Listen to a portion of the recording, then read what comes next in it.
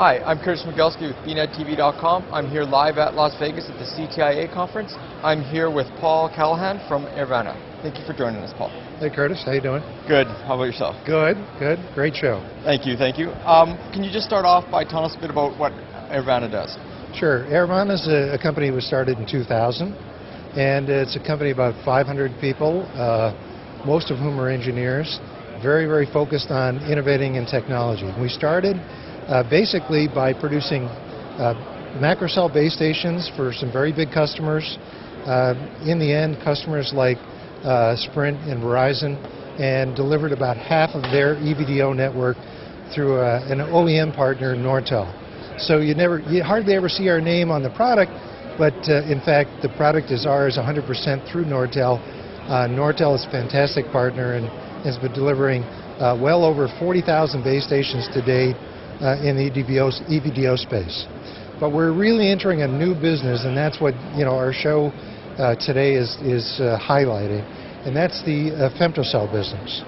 So many of your you know your listeners may not have heard of femtocells, but they're basically small base stations or small access points that that are essentially like a Wi-Fi access point, but for cell phones in your home.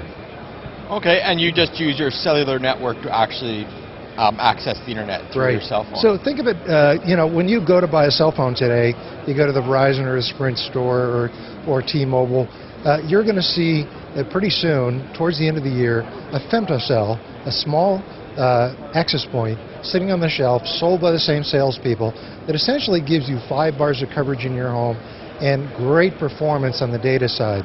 Because you're no longer sharing a large cell site with 100 people. You have your own base station or your own access point right there in the home, very low power, very safe, but very high performance in terms of your coverage and your data performance. What kind of range does the, um, your product provide? Typically, it, it, covers somewhere in the range of 50, 50 to 60 meters. It'll cover uh, pretty much a whole home okay. uh, with a, you know a single access point. Can you get like range boosters or anything like that to uh, enhance your the range of uh, coverage? Well, a femtocell is in fact kind of a range booster. You know, the, the macro cell outside the home mm-hmm. really picks up the coverage. So when you're on a phone call, for example, and you walk out of your house or you get in your car and you drive down the road, it's going to hand off to that macro cell environment seamlessly. Oh, sounds pretty interesting. Um, mm-hmm. So what, what is the cost to the consumer to get one of these femtocells? It's going to be very low cost initially because uh, the operators see so much benefit from putting these access points in people's homes and usually in using essentially a broadband connection in the home mm-hmm. as the backhaul that I think you're going to see a lot of these early units are going to be subsidized very heavily. For example, there's an offering in the marketplace today uh, from Sprint that only costs $49, though I'm sure Sprint is paying in the range of $150 to $200 a unit. So it's going to be like the early introduction of, of uh, cell phones in the high end heavily subsidized by the operators. And in this case, every time an operator adds a femtocell access point to the network, they in fact increase their capacity of the network, lower their backhaul costs, lower their capital costs, and so forth. So, you know, it's it's kind of a it, you know I hate to say this term, but it is definitely a win-win.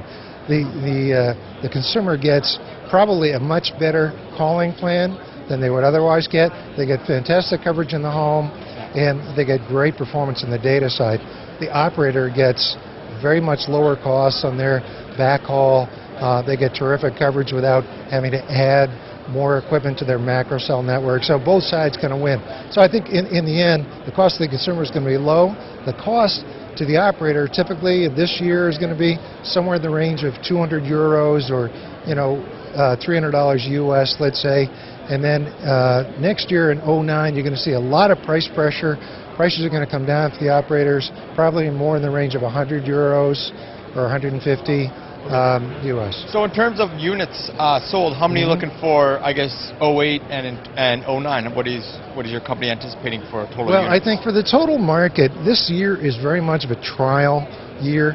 You're going to see towards the end of the year the commercial realization of product and some volume rollouts. But we're in a process right now of going from what you would call lab trials with a handful of units, mm-hmm. then to small field trials with maybe 10 or 20 or 100 units, to larger field trials with maybe 500 or 1,000, and then you know to to what we would call market trials with 10,000 units and 50,000 units in that range. So by that, you know, by the by the time you get to these market trials, you're really at the end of the year. So I would say overall for the whole industry, you're going to see probably a couple hundred thousand units in both CDMA and UMTS. Uh, and then in 09, you're going to see really, you know, you're going to see millions of units in 09. And, you know, what, what's interesting, too, about this market is the demand for femtocells is equally strong in CDMA and in UMTS. Mm-hmm. And we know that because we're building both. We're actually the only, op- the only vendor in the marketplace building both a CDMA and a UMTS femtocell. So we're seeing operators from both camps uh, demand, you very, very strong demand. And I got to say, in 25 years in this business, I've never seen such strong demand prior to you know the shipment in volume of products. And it's it, it's very authentic demand because the the RFPs out there are absolutely brutal, and you get eliminated in a heartbeat if you don't have the features they want. So it's tremendous. Uh, tremendous demand from the operator side. I think you're going to see these by the end of the year, you know, in the shops or in the in the stores that you would traditionally associate with just cell phones only. For sure. No, it sounds like a very cool product. I can totally see why um, cellular providers would definitely want to actually jump on this and yeah, just another service know, they could provide. you know what's really right? funny too? I've I've talked to people about this, and and you know that in in a kind of unofficial. Uh, you know, random survey talking to friends. I have not talked to a single person who doesn't want one of these right away. You know, you plug it into your your DSL or, or your cable uh, connection, it lights up, and boom, boom, you're in business. And uh, it, it's fascinating when when you have that kind of very simple uh, uh, benefit to to the customer. Everybody wants one. That causes a real market spike. Yeah, for sure. Uh, one final question: Do you have any of your uh, product in use here at CTIA? Yeah, yeah, very good, very good question. We're actually uh, demonstrating our product with Alcatel-Lucent in their booth. We also just recently signed a, a deal with Motorola, and it's being demonstrated in their booth. These are both those CDMA products.